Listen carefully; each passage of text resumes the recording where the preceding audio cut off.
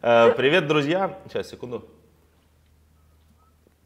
Эм, Сегодня Agile Friday, значит, сегодня пятница, первый выпуск в апреле. В гостях у меня Анна Обухова, она специалист э, по эффективности команд, по выгоранию. В общем, мы сегодня будем общаться с- про все, что связано с производительностью, Agile и не только, наверное, в принципе, команд. Э, Аня, привет. Ты Привет. Какой раз в Киеве? Э, Примерно 150-й. Поскольку я какое-то время работала в Люксофте, много Ага. сюда ездила, ну и вот, собственно, там второй или третий раз я уже приезжаю к Scrum Украина, да, читаю тренинги на конференции, с удовольствием езжу к вам. Спасибо, что пригласили. Э, Собственно, сегодня мы с тобой такую, ну, мне кажется, очень важную тему затронем, э, собственно, про эффективность команд. Все пытаются ее как-то мерить. Все в организациях, буквально сегодня проводил э, тренинг в одной компании, у них самый большой этот вопрос. Нас со всех сторон пытаются мерить, но мы все разные, нам всем пытаются привязать какой-то один KPI, давайте всех подгоним там под одну планочку, сравним команды между собой, установим стандарты производительности, взаимодействия. Ну, в общем, люди пытаются как-то все это систематизировать. Э, Мне кажется, это ведет к тому, что фактическая эффективность команд падает. Ну, кроме того, что эффективность команд падает, это в принципе в корне неправильно. Мгм. Потому что, сейчас, прокашлюсь и начнем заново. А, Ну вот мерить эффективность команд, да, мерить эффективность людей, это, в общем-то, в корне неправильно. Ага. Потому что команды бывают разные, у команд бывают разные задачи, и команды находятся на разном уровне развития. И если мы на команду, которая решает проблему, ну, например, ну, качество кода, решает проблему вообще, можем ли мы что-то сделать и выкатить что-то в продакшн, можем ли мы сделать спринт, вдруг на нее нахлобучить метрику на уровне деньги для компании, Мгм. ну, вообще это ощущается несправедливостью. Но это даже деньги про компанию, ты прям advanced уровень зарядила такой. Да. Нахлобучить количество задач или там сторипоинтов, э, Ну. которые она должна впилить.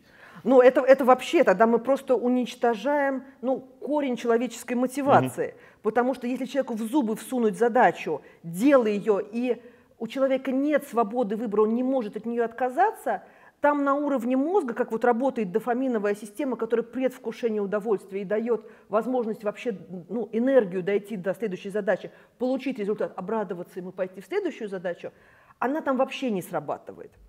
Причем достаточно ну, немножко изменить слова. Не продукт оунер или менеджер всовывают, вот вам 10 задач делайте, а то, как ну, в скраме принято продукт оунеру. Ребята, вот у нас есть де- 10 задач, которые мы просмотрели, и они с точки зрения рынка, они наиболее как бы важные. Давайте посмотрим, вы во- возьмите максимально приоритетные.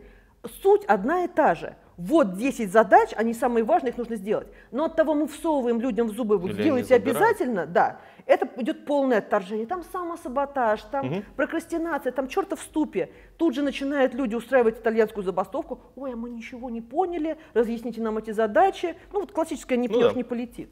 Вот. А если вот чуть-чуть по-другому, вот не жри помидор, да, тебе помидор как порезать, вдоль или поперек, все. Да, в организме разблокируется возможность дофаминовой системы, организм начинает уже думать о мне вдоль или поперек, перестает думать, я вообще хочу эту задачу или не хочу, и вообще задача становится ну, более-менее человеческой. Ничего почти не изменилось. Те же задачи, то- те же приоритеты, потому что скраму задачи не, не могут быть взяты не в порядке приоритета, в голове все совершенно по-другому. То есть вот я в том числе работаю на таком уровне, как раз объясняя скрам-мастерам, менеджерам, agile-коучам, как те практики, которые у нас, в общем-то, ну, привычные, да, agile, agile, очень хорошо увеличивают производительность команды. Ну, тот же Сазерленд пишет от 4 до 7,5 раз Да. увеличивается производительность Ну, команды. Кстати, менеджеры классических организаций читают это буквально. Ну, то есть, иными словами, там, если э, ты копаешь 100 метров траншей в день, то чисто теоретически после прочтения книги Сазерленда, на которой написано «Делай в два раза больше за половину времени» на обложке, правильно? Должен копать 200 метров траншей за полдня. Ну, то есть менеджер читает так. Книжка красного цвета для менеджеров Прямо, прямо написанная, красного да. цвета. Вот он прям смотрит и видит свою контору, которая всем Два раза. купить книжки. У нас был такой кейс, как бы э, просили, «Э, можете ли вы на тренинг привести всем книжки? Мы хотим, чтобы они прочитали. Говорю, зачем? Ну мы считаем, что после этого они могут как бы э, понять, как нужно делать и начнут делать действительно больше. То есть И, и вот тут тоже интересно, потому что то, что написано у Сазерленда в красной книжке, сделай больше за в два раза меньшее время, это же работа с бэклогом. Ну да. Это там просто приоритизация и разрешение не доделывать хвост проекта, который не производителен. Да, ну, и- В этом и суть. Но Да. а еще в 2005 году, когда я вообще начала ну, свой путь в скраме, я работала в компании, где еще Сазерленд сам лично ста- ставил процессы. Вот. И у меня был скрам-проект, и соседний был тоже скрам-проект, причем он был полностью распределенный, fully dispersed team, а, где часть работала в Петербурге, часть работала в Дальней Америке. То есть там пересечение было совсем чуть-чуть. Мгм. И они потом померили, а люди были ну, абсолютно нормальные. Ну, то есть точно так же ржали в курилках, точно так же пили кофе, но, то есть не выглядели абсолютными трудоголиками с красными глазами.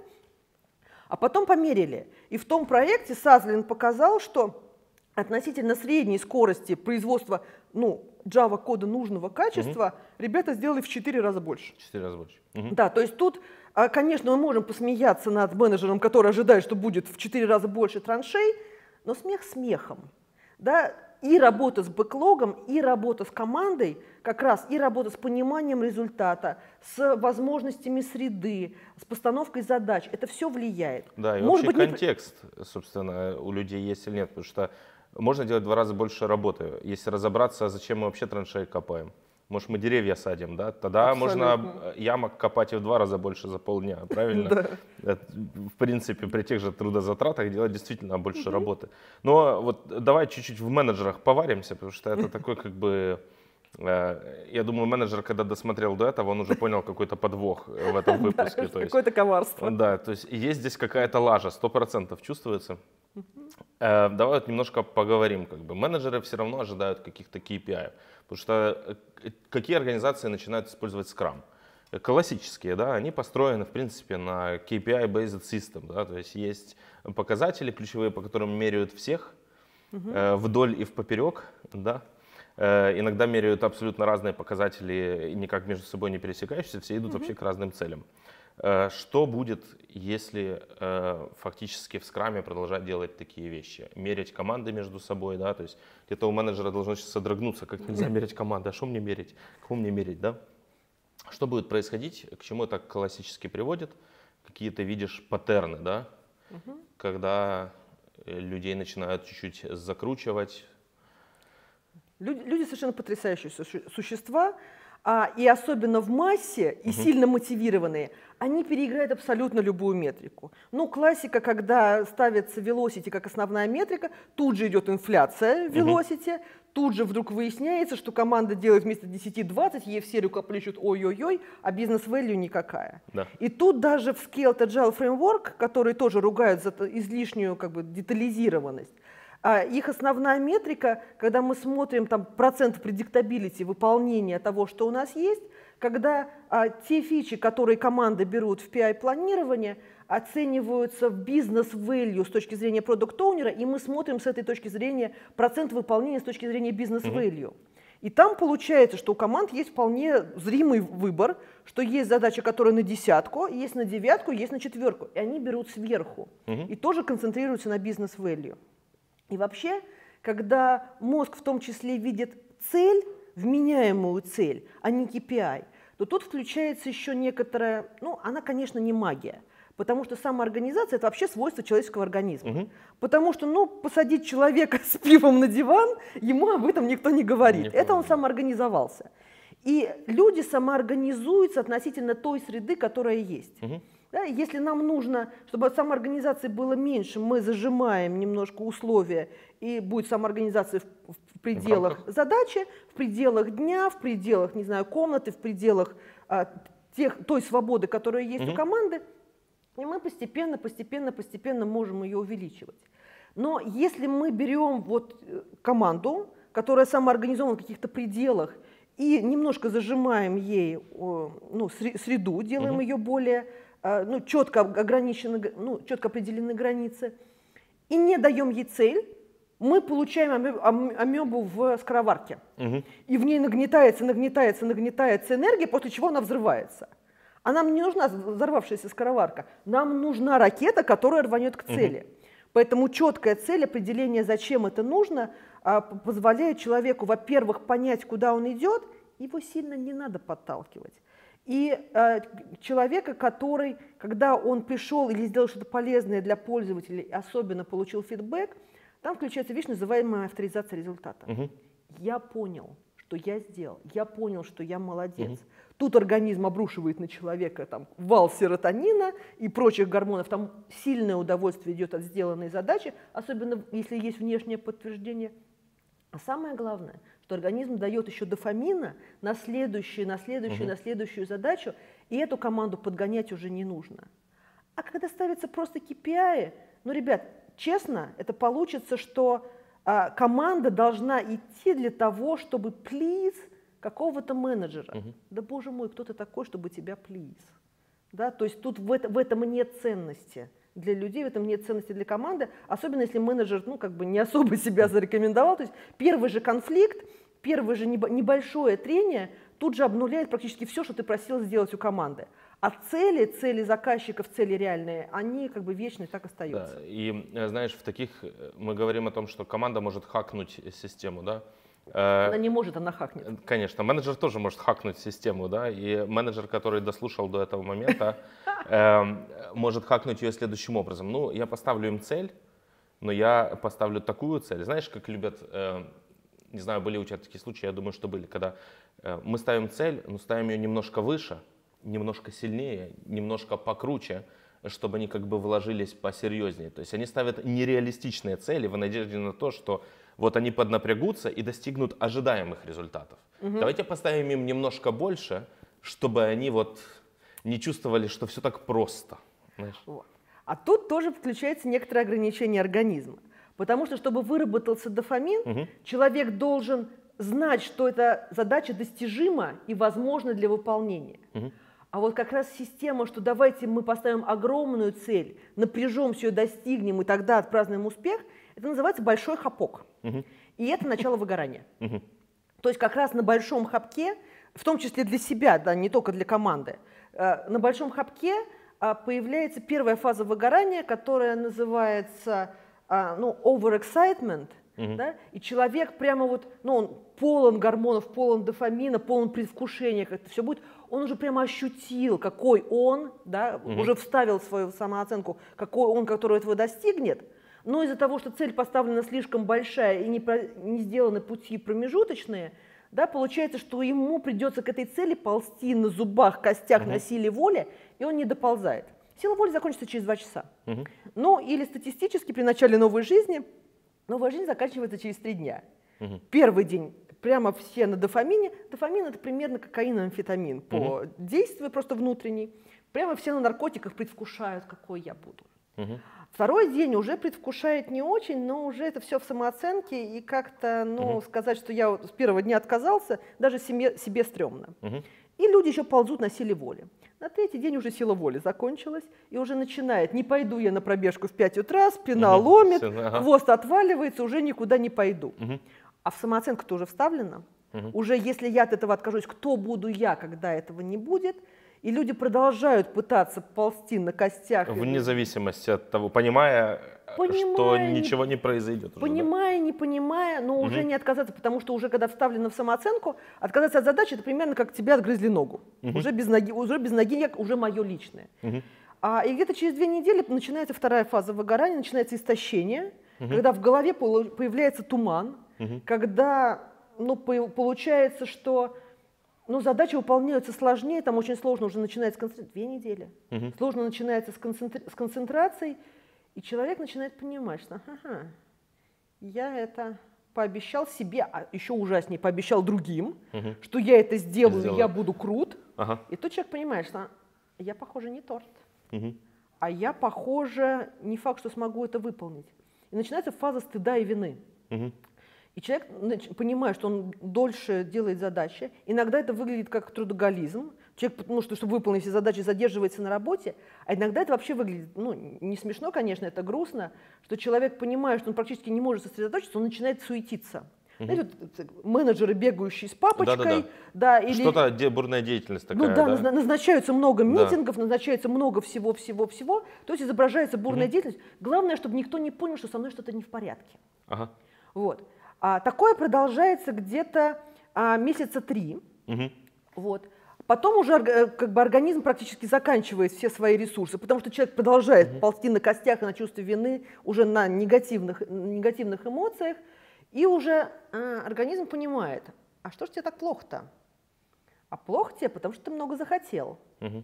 А если ты много захотел, значит, ты, чтобы ты вот как бы не, угу. не, не полз, в общем, вниз, да, да тебе нужно закрыть цели.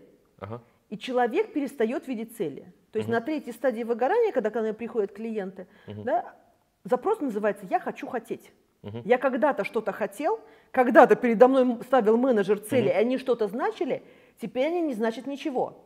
Три месяца. Угу. Да? Менеджер поставил KPI, означая, что вот у нас будет большая цель, вот после этого через квартал он получает вообще зомби-команду, угу. которая не хочет ничего, не особо что-то может, и ей нужно кого-то обвинить.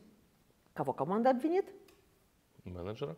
Всех вокруг. Ну да. Потому что, по сути, команда, ну, не виновата не меньше, чем менеджер, потому что она разрешила себе, себе загнаться да. в такие условия. Виновата система, в которой, собственно, это все происходит. Там и система, и менеджер. Но если я обвиню себя в этой угу. ситуации, то я себе еще бетонную плиту положу Конечно. на количество энергии, которое у меня есть, и ну, будет хуже. Поэтому заказчики идиоты, менеджер вообще, да, с, с, с кем я работаю, непроходимые идиоты, угу. все плохо, начинается фаза, которая называется цинизмом. Угу. И вот мы, когда к врачам приходим, ожидаем, что там будет прямо вот врач, который будет прямо вот нас послушает, вникнет угу. в нашу проблему. Мы встречаем квадратные стеклянные глаза. Да, да, да, идите парацетамол попейте. Ну, боже мой. Вот то же самое мы получим от команды. Плюс почти падает возможность коммуникации. Люди перестают говорить. Угу. Люди перестают, ну, по сути, даже здороваться. А, естественно, никакой прозрачности не будет, никакой передачи информации не будет, никакого шеринга знаний не будет. У вас команда распадается на отдельных на людей. Подкомандочки, да, или какие-то Да блоки. даже не подкомандочки, там, получается, индивиды, ага. которые из последних сил на зубах и костях ага, пытаются... пытаются сделать вид, что они в порядке. Там работы вообще нет. Угу. То есть единственное, чем заняты люди, сделать вид, что они в порядке. Угу. И где-то за год а люди, люди доходят до полного истощения – фазы ненависти, отвращения к работе, к жизни и прочее, это уже совсем, ну, это, это уже клиника неврозов, это уже лечат совсем-совсем врачи. Угу. Вот. А менеджер всего лишь поставил KPI с надеждой, что люди вот увидят эти KPI. И да. побегут к невероятной цели. цели да? А вместо этого менеджеру, да, хорошо, он ставит эту цель, но нужно обязательно разбить ее на мелкие кусочки и к ней идти, угу. и объяснять, откуда она появилась. Потому что если он просто говорит, вот KPI я поставил, угу. есть такая штука, называется ранговый потенциал. Угу. Это потенциально изначально врожденное количество энергии популяционное, которое может быть человека. Угу. И это на, нормальное распределение. Ага, это индивидуально. Это индивидуально, угу. да. Но есть люди, у которых максимум рангового потенциала 50, Угу. Есть у кого... Из 100%, да? Да, из 100%. Ага. Есть те, у кого 100. Угу. Это врожденное, это тоже свойство дофаминовой системы. То количество рецепторов дофамину, которые есть на угу. нейроне. Ну и степень ее неубитости, скажем так. И когда он ставит KPI, он по сути ставит на кон со своего, да? Да, свой авторитет, угу. свой ранговый потенциал, ну свой статус. Угу. А в команде, вообще-то мы работаем с командами профессионалов. Те люди, которые прошли горнило обучения в IT, угу те люди, которые добились и стали профессионалами, там же годы и десятилетия обучения, у нас нет низкоранговых людей. Это будет либо равный ранг, а часто еще и ранг еще повыше. Угу. Да? И начинается ну, столкновение рангов. А кто ты такой, чтобы ставить мне задачи из своего статуса? Угу. Да, я как бы и не хуже тебя. И вот это совсем не то, что нужно менеджеру. Ему нужно доверие, ему нужно сделать так, чтобы он ну, не мешал, помогал, поддерживал команду, строил ту среду, где люди могут развиваться, чувствовать угу. себя уверенно, но не совсем не то, что ставить свой э, статус и свой ранговый потенциал на кон. Снесут, честно снесут. Особенно группа, просто снесет сразу. А, давай вот поговорим чуть э, о менеджерах. Да? Вот команды выгорают, выгорают часто под давлением менеджеров. Что если сам менеджер выгорает? А... То есть у менеджера тоже есть теоретический менеджер, э, да, и что будет, и как это вообще начинается, как проявляется, когда начинает выгорать менеджер, как это начинает убивать команду, начинает ли, что делать, да, то есть... Да, начинает, А причем, если вот э, команде или группе с определенным количеством энергии приходит человек с другим количеством энергии, либо выше, либо ниже, угу. ну возьмем пример выгоревшего менеджера, у которого меньшее количество энергии. Ну, например, продукт-оунер, давай, вот да. в скраме продукт-оунер, сил нет, угу. да, называется. Вот он приходит к команде, во-первых, люди однозначно считывают количество энергии. Угу. Причем считывают рептильным мозгом, вот угу. здесь расположены. У него он не умеет разговаривать, но он однозначно знает, сколько у человека энергии. Где-то примерно лет с трех угу. ребенок всегда знает, кто главный в семье. Ага. Вот. И, и это количество энергии считывается, и ну, отношение примерно такое же. То есть если человек, ну, ходячий труп, то к нему и отношение соответствующее. Ну, понимая, что то, что он придумал, не факт, что правильное. Да? Угу. Будет больше сомнений, будет больше вопросов, а, будет больше перепроверок. Естественно, человек начинает психовать, ну угу. и отношения тоже портятся. Но самое коварное, что когда к группе приходит человек с другим, э, с другим уровнем энергии, у нас есть зеркальные нейроны в голове. Когда мы понимаем выражение лица, когда угу. мы чувствуем эмоции другого человека, они же отвечают за передачу энергии. Угу. А называется energy contagion, да, или ну, энергетическое заражение. Заражение, ага. Оно начинается через 15 минут. Угу. То есть пришел продукт оунер в более низком э, уровне энергии, через 15 минут он чуть-чуть подрастет, а команда просядет. просядет. А команда просядет. И вообще, когда мы говорим об уровне энергии менеджера, о продукт-оунера команды, то мы смотрим на тех людей, с которыми они максимальное количество времени общаются, угу. то есть на ту среду, которая есть в компании. И человек по дефолту будет в уровне этой среды. А коварство-то в чем? Что, например, для той же скрам-команды нам нужно минимальный уровень энергии, где-то 45%. Потому что тогда включается вообще понимание собственных целей, появляется логическое мышление, появляется возможность как бы, понять и отстоять свои границы. А человек становится более самостоятельным, способен на самоорганизацию. Для скрам-мастера, лидера уровня команды, угу. нужно уже 50-55%, где-то на 10% выше держать. Угу. И это отдельный навык. Ну, собственно, чему я и учу, отдельному навыку, как держать уровень энергии выше, чем уровень среды. И если бы все было так просто, agile коучу, который работает с несколькими командами, скрам-мастерами, минимум 60. Потому что на 60% включается еще одна способность мозга – понимать, что не все люди одинаковые, не все компании люди одинаковые, и что не все надо менять. И тогда, если этого нету, если ниже, начинается, что иногда мы встречаем в консультантах. У человека есть в голове какая-то его любимая вещь, и начинается всем скрам. Тулить э, одно и то же, да, забивать молоток у тебя в руках. Везде да, гвозди, да, да, везде гвозди. Всем скрам, всем канбан, всем лес, всем сейф. Да, то есть человек начинает делать людей таких же, как у него в голове. Угу. Точно так же, как стилист, у которого меньше 60%, он начинает одевать людей, и они становятся все похожими на него. Угу. И прямо видно, как это все происходит. То есть человек, получается, он стилизует, да, как стилист да, для себя. компании, ага. под то, как он видит ага. себя, как он это все есть. Это 60%. И ниже нельзя. А продукт-оунеры, те, кто должны собирать большое количество разрозненных вещей, угу. определять их ценность, а ценность – это качество работы префронтальной коры, которая первая выдыхается и первая теряется. А потом еще умение составлять разные идеи, инсайты – если, опять же, мозг выдыхается, или он тревожен, или он нервозен, или он в выгорании, это тоже пропадает. А ему нужно собирать эти все идеи. Для продукт-оунера 65-75%. Это тот уровень, который нужен для предпринимателей. А продукт-оунер, который ниже команды, да, если команда 45, это 40, 40. Это в лучшем случае мы получаем неплохого администратора проекта, не больше. Угу. И с продукт-оунерами... Такой принеси-подай, да, уровня? Там. Да, подай-принеси. Но при этом продукт-оунер, он же приходит к стейкхолдерам, ну, да. ему нужно на, наровне с ними да. разговаривать. А стейкхолдеры, а, топ-менеджмент, это опять 60 и выше.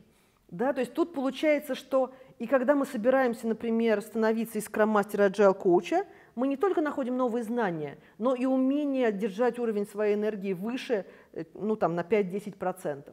Если мы считаем, что мы можем быть продукт-оунерами, хотя у них тоже есть несколько слоев, это тоже не только знание, это и умение общаться с людьми на том уровне, о котором есть, и умение, самое главное, держать тот уровень выше команды еще кого-то.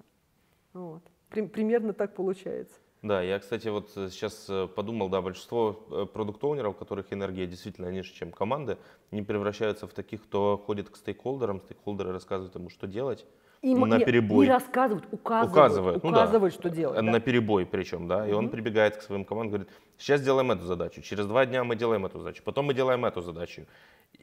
И никакой цели, никакой общности, ничего нету, происходит полный месс. Полный месс, на котором мало того, что продукт оунер сам выгоревший, он на этом мессе, на отсутствие понятной цели, на небезопасной Мгм. среде, на слишком хаотической среде, для мозга вообще simple среда самая хорошая. Ну да, напрягаться не надо. Ну, да. не- нет, не то, что напрягаться не надо, а то, что не нужно постоянно сканировать Мгм. среду, потому что в среде, в этой среде нет шансов, что зашевелится куст, и оттуда вылезет тигр. Да? И можно наконец-то сосредоточиться на своей работе. То есть если мы локально делаем Мгм. хоть какую-то simple среду, ну, Мгм. ровно как Scrum, который делает из complicated, Мгм. а, из комплекс complicated, Complicated. среду, да, х- хотя бы на время спринта, то вот то же самое. Если мы можем сделать хоть немножко более простую, немножко более предсказуемую среду, хотя бы на спринт, Мгм. хотя бы на день, хотя бы на процесс, хотя бы на процесс общения с продукт-оунером, хотя бы на процесс постановки задач, мозгу уже лучше. Он не будет сканировать пространство как небезопасное, и Мгм. уже получается, что он хоть может на работе сконцентрироваться, хоть еще пару строчек кода написать. А, вот Ты рассказываешь про этот уровень заряда, да, говоришь э, 40-45%, там команда должна включаться. Вот что такое 10%, 15-20%? То есть давай так, если можем пройтись по уровням. Да, давай да, пройдемся по уровню. ш- Интересно понять, с чего все начинается. Что такое у человека 10% энергии? Это он э, лежит и не встает или только ест хлебушек какой-то, да? ну вот, есть да, вот ест хлебушек. Вообще, вот когда, когда э, говорят про количество энергии, про нее сейчас много говорят, и даже вот, например, Пьер Касс, а, это про- профессор, по-моему, голландский, Мгм. вот он профессор Сколково, очень уважаемый человек, он говорит о vitality quotient, да, количестве энергии вообще как главном качестве лидера. И, но он говорит о том, что он есть врожденный и есть бы, какой у вас есть сейчас, но он говорит, ну, примерно из серии, что много энергии хорошо, мало плохо. И вот двое человек, один психиатр, вторая психолог и социолог, они попробовали это оцифровать Мгм. и попробовали определить, а не для каждого человека, вот я на своем максимуме, на своем минимуме, а сделать это популяционно, чтобы мы могли сравнивать людей. Мгм. У этого 60, у этого 40, ну, собственно, как я сейчас рассказывала Мгм. про скрам-мастеров. И ноль – это кома. То есть мозг работает, а все остальное нет. Мгм. 5% начинается глотание переваривание. Мгм. 10% человек может встать с кровати уже, ну, вроде как перемещаться по квартире. 15% он может приготовить еду, э, выбрать одежду, ну, минут по 15 работать, но в основном руками. Руками, ага. Да, дальше где-то получается 20-25% человек может доехать до работы по известному маршруту, работать только по известным правилам Мгм. и начать работать, э, на- закончить по только внешнему сигналу. Мгм. То есть человеку еще не хватает энергии, не хватает мозга, чтобы вообще понять, что надо за- начать вот от забора до обеда. Это вот Это примерно... про вот это. Да, это, это конвейер. Мгм. И конвейер на самом деле и сделан как раз для того, чтобы на нем могли работать люди с таким количеством энергии, потому что там где-то в 1700 году после чумы а получилось, что люди вообще никакие дохлые, спасибо, что есть. И они получились самым слабым и самым непроизводительным звеном около станка. Мгм. И как раз вот станки и конвейерное производство сделано для тех людей, которые могли на, ни- Мгм. на них работать. И так и осталось. Да, конвейерное производство так и есть. И вот получается, что э, где-то вот 20-25% это Мгм. тот конвейер, который можно сделать. На 30% человек уже а, может более-менее оценить, как бы, что он делает, Мгм. уже сам начать и закончить. А у этого человека нет еще игры, нет абстрактного мышления, но это уже вполне себе работник. Мгм. Хотя в 35% появляется возможность уже более-менее понять, что происходит, самому выбирать и назначать себе работу, и начинается возможность а, получения энергии от результата. Мгм. На 40% появляется возможность, вообще появляется сила воли, появляется возможность отложить что-то ради будущего результата, Мгм. и заметь, ниже ее вообще нету. Мгм. Да, то есть вот что я захотел, я сделаю сразу. Мгм. Да, если что решил, то выпью обязательно. На 40% а, человек может разделить границы между собой и другими, и Мгм. в принципе может быть руководителем, администратором. Мгм. 45, как мы говорили, возможность самоорганизации, 50 возможность лидерства на уровне команды, 60 возможность понять, что люди другие, не надо их калечить, уровень психологов, коучей, agile коучей, 65-70 возможность создавать свои идеи, разговаривать на равных с топ-менеджментом и руководить большим количеством людей, оперировать большими абстрактными, абстрактными. группами. Угу. Да, 80-100% это у человека идеи уровня мир, их реализация, и 80 или 100 отличается в основном тем, что 80 это мы человека знаем сейчас, но, возможно, через 10 лет забудем. А те, кто 100, мы их помним в веках. В веках. Ага. Да, в веках и тысячелетиях. Македонский, Суньцзы, Гиппократ, Тамерлан, вот угу. те люди, которых мы до сих пор помним, возможно, мать Тереза, точно Гитлер, точно Ленин, угу. да? Тут не, не важно позитивные или негативные, угу. но мы этих людей помним в веках, и это похоже сотня. Угу. Вот. Дальше там, ну, дальше нету, да, вот ага. верхние идут большими мазками, нижние, нижние. И это, опять же, нормальное распределение. То есть большинство где-то 50. Где-то 50. Посрединочка. Угу. И это очень немало. Потому что самый ужас в том, что та среда, в которой мы живем, и причем и мы, Россия, угу. Европа и Америка, практически весь мир, вот э, Восток не трогали, не смотрели. Среднее количество энергии в среде, то есть то, куда нас роняет среда, угу. 33%.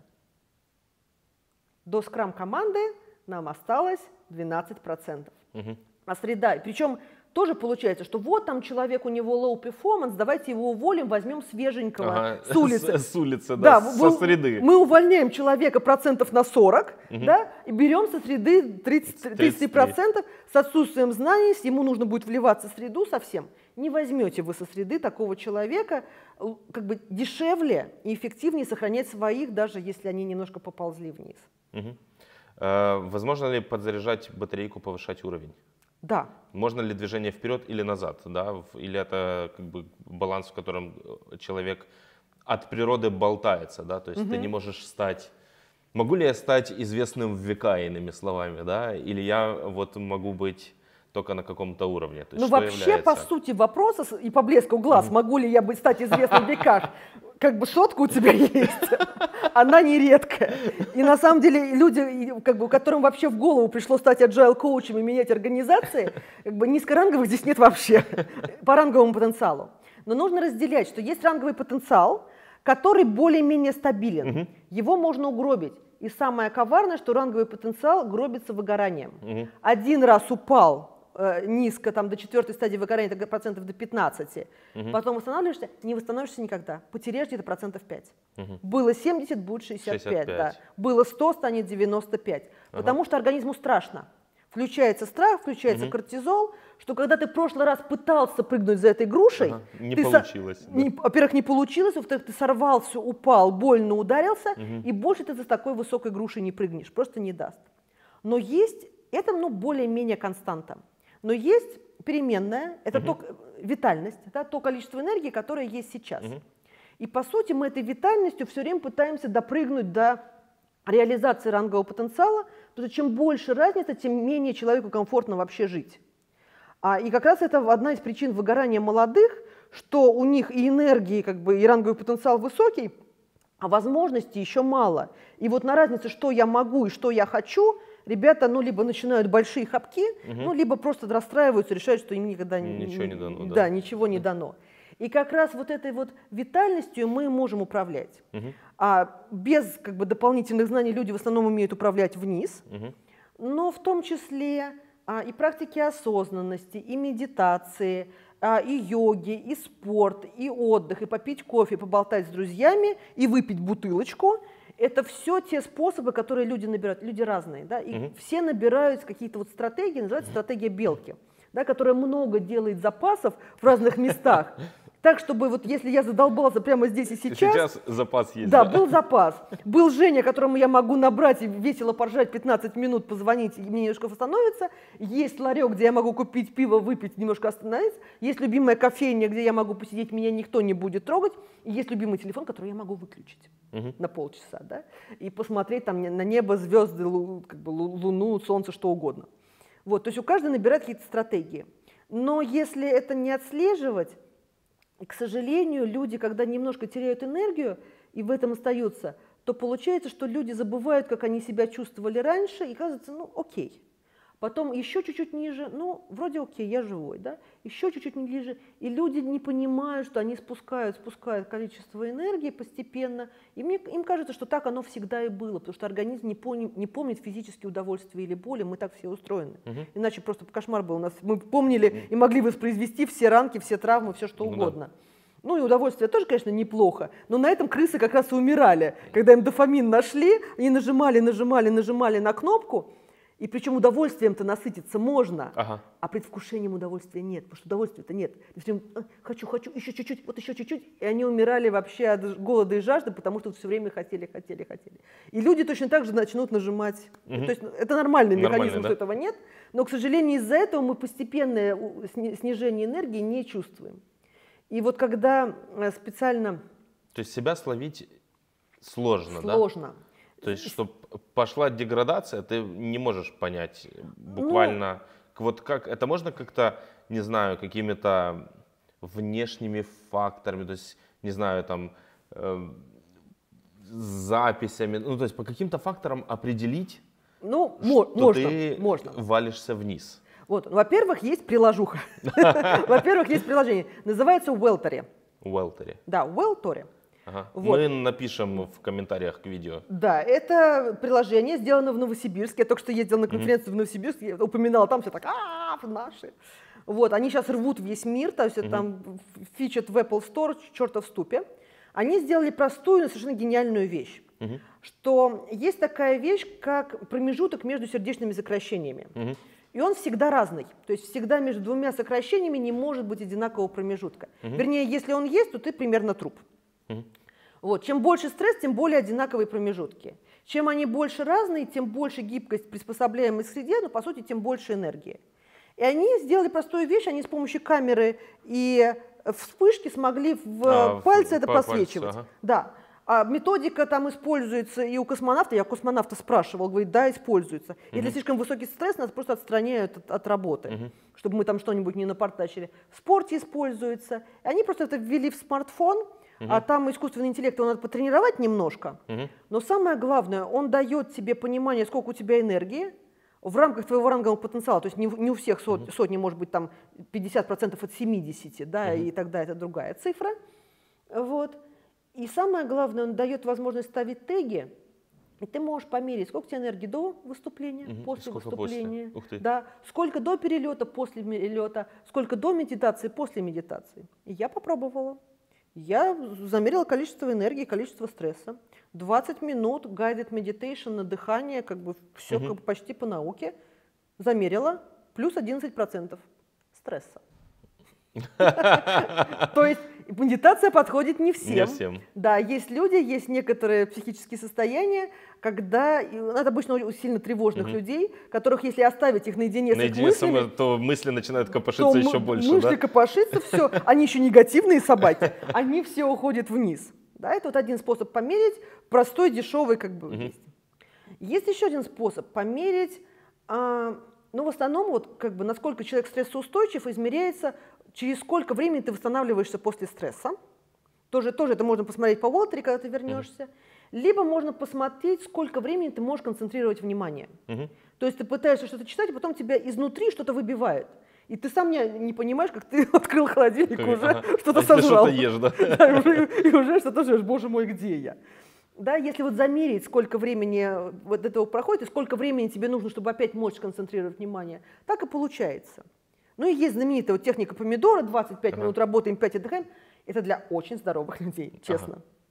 То есть вот когда состояние не очень хорошее, бывает, что ты 10 минут можешь концентрироваться, а до следующих 10 минут ты минут 40 еще как бы, отдыхаешь. отдыхаешь. Потом да? еще 10 минут еще. Но когда ты понимаешь, что ты нормально отдыхаешь, через некоторое время у тебя будет 15 минут, потом полчаса отдыха, 15 минут, полчаса отдыха, 20 минут, полчаса отдыха, 20 минут, полчаса отдыха. Угу. И, наконец, там вот приходишь примерно к помидоре. Да? Угу. То есть, если прямо сейчас ты не можешь выдержать помидора, да, то есть это не, не полное, как бы, это не полное ничтожество, а это реально для серьезно здоровых людей угу. с хорошим уровнем энергии, да, очень действенная техника. Но, может быть, другие промежутки тоже нужно смотреть. И вот замер вот этих разных промежутков и их прогресс тоже хорошая метрика, насколько, сколько у тебя энергии. Э, спасибо, Ань. Давай такой заключительный топик. Эм, что делать с выгоревшей командой? Вот э, представим, что ты пришла в команду, э, всунула им градусник, о, друзья, все плохо. Да, какие советы, что делать с выгоранием команд, людей в командах, какие-то практические советы? Ну, во-первых, я им не градусник ставлю, потому что э, ну, вот метод, который позволяет оценить э, степень выгорания команды, и ну, особо я об этом не говорить, скажем так, называется Абгар. Абгар-тест, угу. такой же, как мерить новорожденных. Угу. То есть я им козу покажу и примерно вставлю ага. соску. Вот. Ну, то есть э, возможность оценить по там, пяти параметрам по, шка- по определенной шкале, ну, от 1 угу. до 10, точно так же, как и Абгар, насколько команда вот выгоревшая получается. Угу. А дальше мы работаем с несколькими... То есть это какие-то специальные вопросы? А, да, ну там примерно насколько угу. человек выглядит уставшим, угу. есть ли у него проблемы с производительностью, угу. а есть ли у него проблемы с контролем эмоций, угу. как он реагирует на новое, потому что уставший человек реагирует всегда, всегда нет, всегда нет. А, и пятое, не помню. Угу. вот. А в, в таком виде получается, как раз меряем и смотрим, что получилось. А дальше у нас есть а, шесть вещей, с помощью которых мы поднимаем ну, энергию команды, выводим mm-hmm. ее с выгорания. То есть, ну, я собрал во фреймворк, ага. agile коучем или нет. Но он не квадратный, он, он не круглый. А. У меня круглый. Ну, это нормально, либо круговая диаграмма, либо четыре области. Ты меня расстраиваешь. Ну, в общем, до четырех областей не сделал, что у меня шесть получается. И мы работаем с внешней и внутренней средой, а, внешняя среда – это то, что творится вокруг, угу. процессы, ну и простейшие вещи, чтобы взять поближе, нужно положить поближе. Угу. Ну, то есть там уровень логики примерно такой. Используем value stream mapping, workflow mapping для того, чтобы определить, где в процессе угу. идут вещи. Ну, то, что довольно много коучей делает, в принципе, и так. Потом мы забираемся во внутреннюю среду, это то, что творится внутри черепа. Как раз э, определяем количество энергии, смотрим основные вещи, почему эта энергия уходит – и дальше работаем уже внутри головы угу. с базовой мотивацией, с базовым работой энергии. И для этого нам нужно, чтобы было намерение, чтобы была цель и авторизация результата. Угу. Этому надо учить.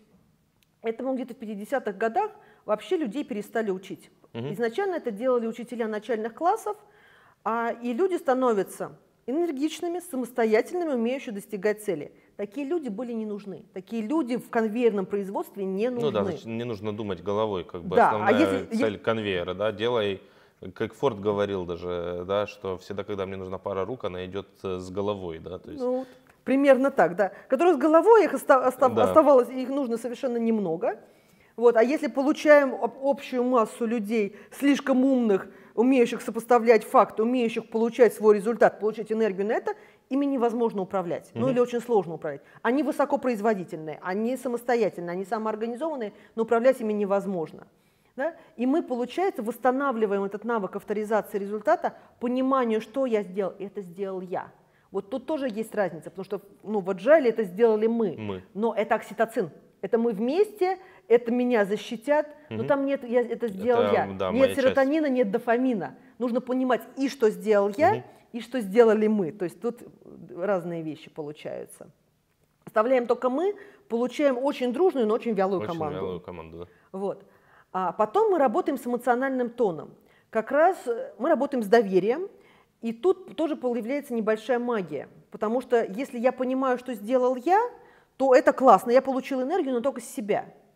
А окситоцин – это тот гормон, который вырабатывается у матерей, когда они рожают ребенка, там его прямо море, и большинство матерей успехи ребенка воспринимает как свои успехи. Если есть доверие в команде, если есть безопасная среда, не зря Google mm-hmm. в своем Аристотеле безопасную среду сделал – там получается, что мы радуемся за успехи других членов команды так же, как за свои. За свои, да. И получаем и серотонин, и дофамин на достижение цели, не только окситоцин, что мы вместе.